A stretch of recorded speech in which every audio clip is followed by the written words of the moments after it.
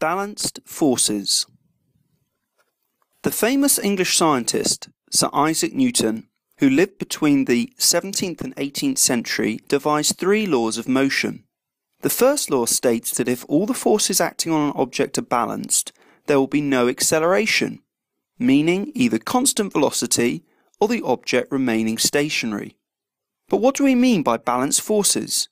Let's look at the example of a horse. The first force we will consider is the force of gravity. This acts towards the centre of the earth.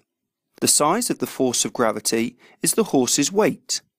An arrow is drawn downwards from the horse towards the centre of the earth.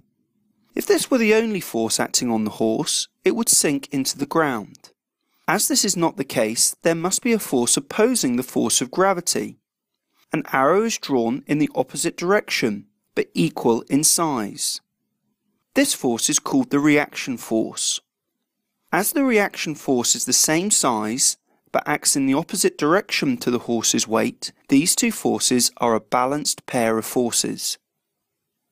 There are other forces acting on the horse. The horse is moving forward, and therefore there must be a driving force from the horse's legs.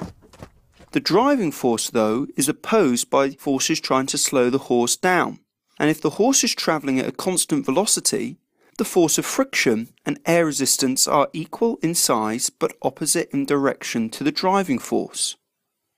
The driving force is now balanced by friction and air resistance, a balanced pair of forces, and the horse now travels at a constant velocity.